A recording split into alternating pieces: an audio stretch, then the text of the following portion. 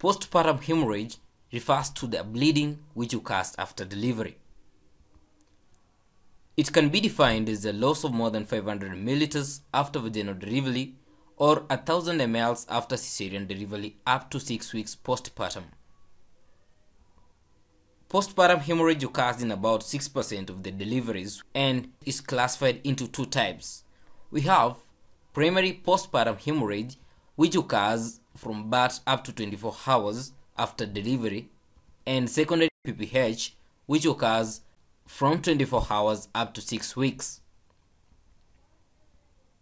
What are the causes of primary postpartum hemorrhage? We have four T's in mastering these causes, whereby the first T refers to uterine atony and accounts for 75%, thrombin, which refers to coagulation disorders, tissues, whereby there's blood clots and retained placenta, and tears, including cervical or perineal tears and ruptured uterus. The causes of secondary postpartum hemorrhage include infections and retained placenta. Predisposing factors which lead to poor uterine contractions include past history of atony with postpartum hemorrhage, retained placenta, large placental site, use of halothane anesthesia, overdistended uterus which occurs in cases of polyhydramnios and multiple pregnancies, and uterine malformations, together with prolonged labor and poor second stage contractions. Also, trauma to the uterus can lead to uterine atony. Multiparity is another factor. How can we prevent postpartum hemorrhage?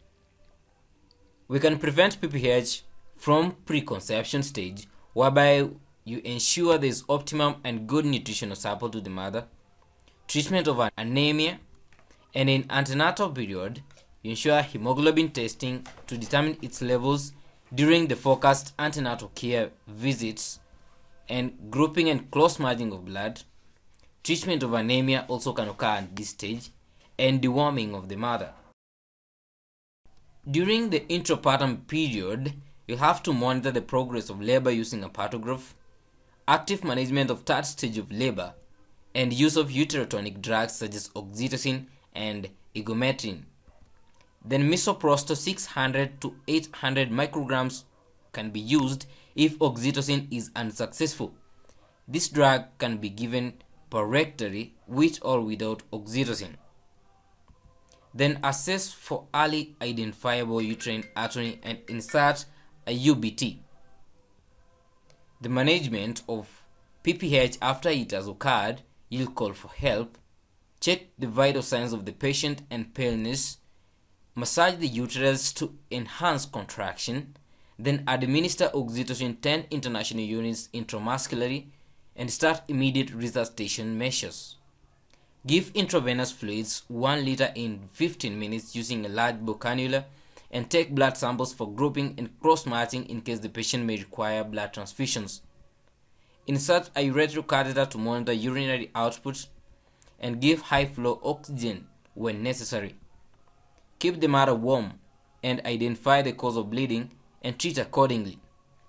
During identifying the cause of bleeding, you assess if the placenta has been delivered and if not, then you have to explore the uterus.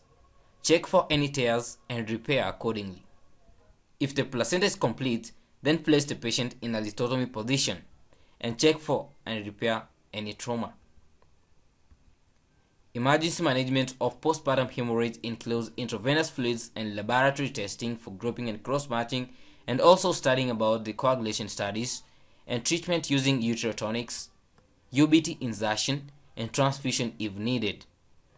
Okay, thank you and don't forget to subscribe to our channel and click on the bell button to be notified once we upload. Let's meet on our next lecture.